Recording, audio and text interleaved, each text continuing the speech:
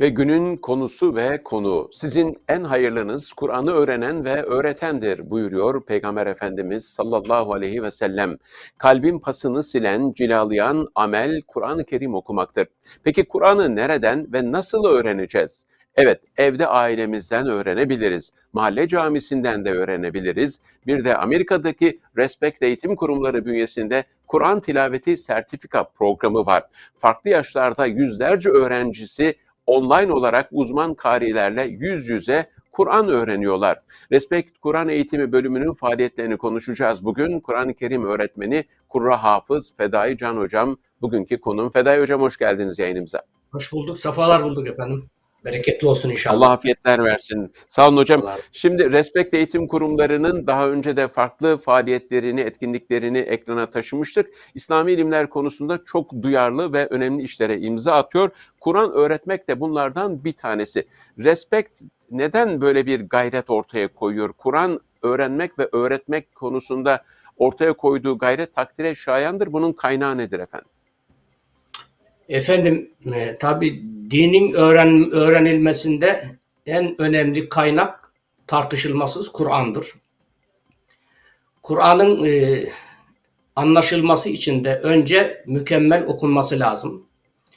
Cebrail aleyhisselamla Efendimizin her Ramazan'da Kur'an'ı karşılıklı okuyor olması, okumuş olması, hatta Efendimizin son vefat edeceği sene iki defa okunmuş olması, bu kitabın Cenab-ı Hak tarafından talim edildiği şekliyle okunması gerekliliğini ortaya koyuyor. Onun için de denmiş ki her müminin namazını sıhhatli kılacak kadar Kur'an-ı Kerim okuması farzı ayındır. Ee, namazın şartlarına da baktığımızda kıraat farz. Tabi bu kıraatın öyle la yüsel amma yef'al değil biriyle konuşacağımız zaman bile onunla neler konuşacağımızı, nasıl konuşacağımızı, dilimizin inceliklerini nasıl kullanacağımızı bir sürü kafamızda hayal eder, düşünürüz. Böylece e, Cenab-ı Hakk'ın huzuruna çıktığımızda onun istediği kelamı onun istediği gibi okumak mecburiyetindeyiz.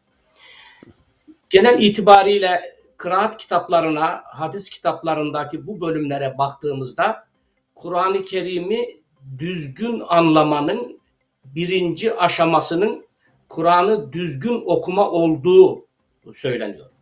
Hatta e, hadis alimlerinden birisine e, hadis ilmi öğrenmek için gelen İmam-ı Azam'ın talebelerinden birisine o hadis alimi diyor ki bana bir Kur'an oku. Bakıyor ki onun Kur'an okumasındaki seviyesi çok iyi değil. Sen önce git diyor Kur'an'ı talim et Sonra tekrar gel diyor. O zat da diyor ki ben gittim diyor. Kur'an'ı ezberledim hepsini. Sonra tekrar diyor o hadis aliminin huzuruna geldim. Beni tekrar imtihan etti. Şimdi hadis okuyabilirsin dedi diyor. Ee, Peygamber Efendimiz sallallahu aleyhi ve sellem de bunu teşvik eder mahiyette. Kur'an'ı okuyunuz. Zira kıyamet günü Kur'an okuyanlarına şefaatçi olarak gelecek diyor ve devam ediyor hadis-i şerif. Diyor ki Kur'an-ı Kerim kıyamet günü Bakara suresi e, ve Ali İmran suresi kendini okuyan ve amel edenlerle beraber mahşer meydanına getirilir, getirilir ve aralarında diyor şöyle tatlı bir niza geçer. Bırak ben şefaat edeyim der diyor Ali İmran suresi, Bakara suresi de ben şefaat edeyim der diyor. Yani hem bizim hayatımız için olmazsa olmaz ibadet namazımızın sıhhatı açısından hem de dinimizi öğrenmenin önemi açısından Kur'an-ı Kerim'i mutlaka usulüne uygun öğrenmemiz lazım. Kur'an-ı Kerim dışındaki... Ne demek hocam usulüne uygun? Şimdi birçoğumuz okuyoruz, birçoğumuz bizim seyircilerimizde abdestinde, namazında e, anneden babadan öğrenenler vardır, cami hocasından öğrenenler vardır e, siz farklı bir boyuta taşımak istiyorsunuz. O usulüne uygun okumak ne demek? Sizin öğrencileriniz Tabii. ilk test ettiğinizde yüzde kaçı usulüne uygun okuyor, yüzde kaçı e, bir eğitime ihtiyaç evet. duyuyor? Yani bu iyi bir tablo değil aslında. Çok üzülerek söylüyorum. Genel itibariyle e, check-up yaptığımız veya seviye belirlemesi yaptığımız öğrencilerin yüzde doksanı Kur'an-ı Kerim'i namazını kabul olacak şekilde okuyamıyor. Ben tam aslında onu söyleyecektim. E, Kur'an-ı Kerim'in okunuşuyla Arapça yazının okunuşu birbirinden farklı şey. Dini kitaplar da dahil, diğer ilahi kitaplar da dahil hiçbir kitabın Kur'an-ı Kerim gibi okunma bir okunma usulü yok. Onun için Kur'an-ı Kerim'i Peygamber Efendimiz'e Cebrail Aleyhisselam'ın Peygamber Efendimiz'in de sahabe-i kirama okuduğu gibi okumamız lazım. Eğer öyle okumuyorsak, bir Arapça metin gibi okuyorsak, harfleri e, olduğu şekliyle okumuyor, başka harflerle okuyorsak, eskiden şey vardı, kahkaha aynaları vardı. Yani bazen okuduğumuzu kaydetsek ve manasını bulmaya çalışsak o kahkaha aynalarında olduğu gibi manaya kendimiz bile güleriz Kemal abi. Onun için e, usulüne uygun okuma demek ki bu farz. Yani ben Kur'an'ı okuyorum. Bazı insanlar şöyle düşüyor. Ya Cenab-ı Hakk'ın rahmeti, merhameti, ilmi çok geniş. Biz nasıl okursak okuyalım, okuyalım anlar diye düşünüyoruz ama öyle değil. Kur'an-ı Kerim'in e, mübelliği, e, temsilcisi, tebliğcisi Hz. Muhammed Aleyhissalatu Vesselam değişik hadisi şeriflerinde Kur'an-ı Kerim'in tecvidine uygun olarak okunmasının farz olduğunu söylüyor. Şimdi mesela yurt dışındayız. Farklı camilere gittiğimizde farklı milletlerin değerli karileri var. Farklı kıraatlerde okuyorlar ve Türk kıraati de başkadır. Yani bunlar arasında bir fark var mı? Respekt eğitim kurumları böyle bir çalışması var mı? İşte e, Arap ağzıyla, Türk ağzıyla, Malezyalı bir hocanın ağzıyla bunlar arasında bir fark var mı? Siz nasıl bir yol usul takip ediyorsunuz hocam? Yani onların e, normal şive olarak farkları olmayabilir ama e, Kemal abi 10 tane farklı kıraat var. Bunların 20'şer tane de talebeleri var. 30 farklı kıraat var. Mesela biz genelde pratik olarak Asım kıraatı diyoruz ama biz aslında Asım kıraatını okumuyoruz. Asım kıraatinin Hafs rivayetini okuyoruz. Yani onun bir talebesinin rivayetini okuyoruz. Ve dünyada yüzde elli e, yüzde elli e, Hafs rivayetiyle okuyorlar namazda. Namazda okunan kıraat bütün dünyada üç tane.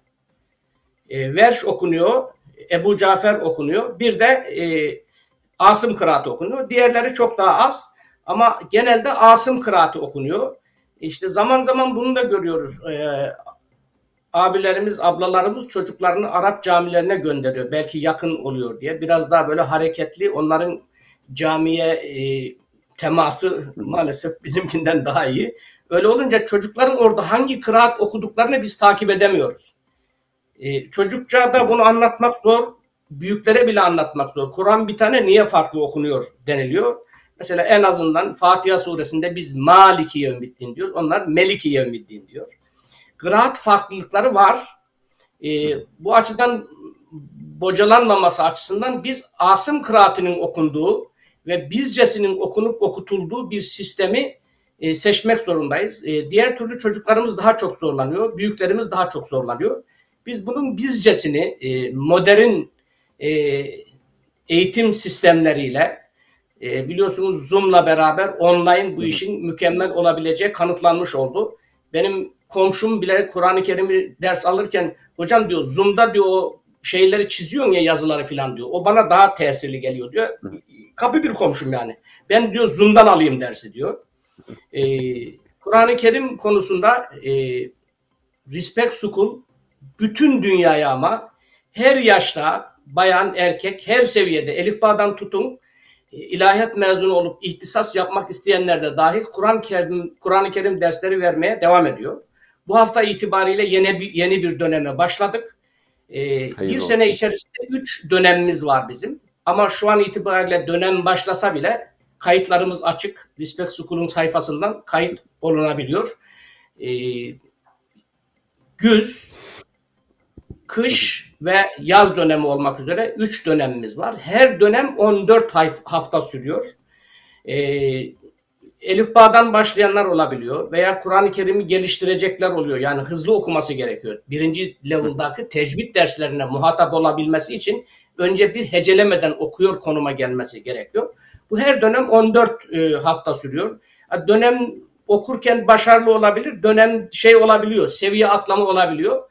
Ama normalde e, 4 seviyede e, asgari kendi gayretine göre namazlarını doğru kılacak şekilde bir yerde oturduğu zaman yüce kitabımızı usulüne uygun okuyacak şekildeki e, seviyeye e, katılan kardeşlerimiz geliyorlar.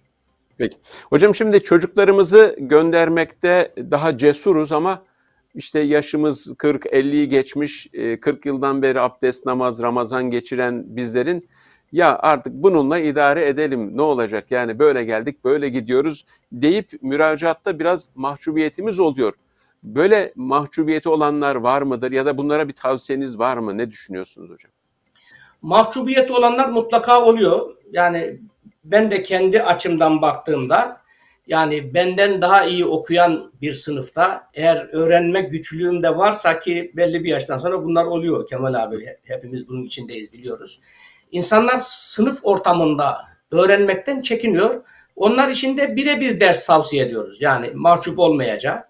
Ama mutlaka e, ben bir hesap yapmıştım hafızlık açısından. Günde bir sıra ezberleyen bir insan 22 senede hafız olabiliyor. Yani her gün bir harf bile öğrenebiliyor olsak 28 günde harfleri öğreniriz. Harfleri öğrenmek elifbanın yarısını öğrenmek demektir aslında. Ondan sonrası çorap sökü gibi gelir. E, çekinecek bir şey yok. E, bu öyle bir kitaptır ki yani ya eyyühellezine amenu in tensurullaha yansurkum ve yusebbit abdamekum. Allah'ın dinine siz yardım edin ki Allah da size yardım etsin. Bu ayeti buraya da taşıyabiliriz. Yani biz okuma gayreti içerisinde olduğumuz zaman Cenab-ı Hak ummadık sürprizler açıyor bize.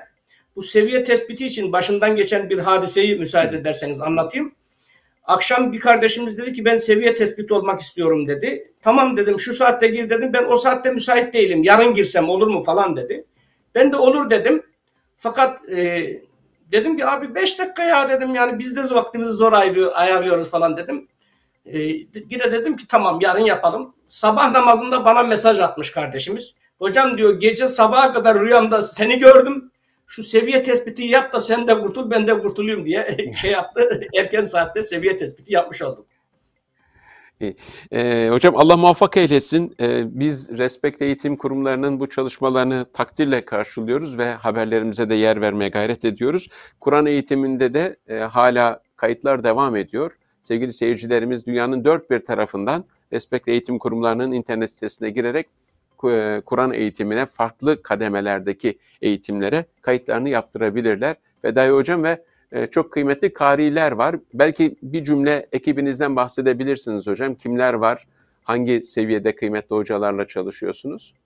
Tabii hocalarımızın hepsi e, bu konuda kariyer yapmış, e, tecrübe kazanmış hocalarımız. Başta e, ölümüne bu işin başında olan İsmail Büyükçelebi hocamız var. Kendisi bizzat hem işi organize ediyor hem adım adım takip ediyor kayıt olunup olunmadığını hem de kendinin de sınıfları var. Aynı zamanda da okutuyor. Hocalarımız genelde e, Mısır Elhezer'den mezun olmuş veya Türkiye'de ilahiyat fakültelerinden mezun olduktan sonra değişik e, kıraat okullarında e, ihtisas yapmış hocalarımız. E, yani şu an itibariyle geçen de bir değerlendirme şeyimiz vardı, e, anketimiz vardı. İşte birisi şöyle yazmış. Hocam diyor donanımıyla zor olarak girdim ama hocam derse başladıktan sonra donanımıyla, sabrıyla çok şey öğrenmemize vesile oldu. Bu vesileyle tecvidi öğrenmiş olduk diyor. Yani e, oradan saldırıyoruz, buradan saldırıyoruz. Öyle olmadı, böyle olmadı. Mutlaka insanların anlayacağı bir sistemi bulana kadar zorluyoruz. Ee, e, maalesef İnşallah. bu konuda e, çok dünya genelinde çok ciddi bir hazırlık yok. Mesela benim kullandığım bir şey var şu anda özellikle çocuklarda. Çocuklar oynayarak tecvidi öğreniyor. Oyun sistemi var. Birbirleriyle yarışıyorlar. Oradaki skorlarına göre çocuk birinci skora çıkmak için o oyunu birkaç defa oynadı mıydı o tecvidi öğrenmiş oluyor. Hocam çalışmalarınıza başarılar diliyoruz. Allah muvaffak eylesin. Allah ee, üç aylarda yaklaşıyor. Recep, Şaban, Ramazan. Kur'an'ı hakkını vererek okumak ve e, sadece lisanıyla okumak değil, içine girip manasını da anlamayı Allah bizlere nasip eylesin inşallah. Amin Teşekkür inşallah. ederim. İyi çalışmalar dilerim efendim. Biz de teşekkür ediyoruz efendim. İnşallah güzel olur, güzel şeylere vesile olur. Respect School'un Kur'an eğitimi. İnşallah.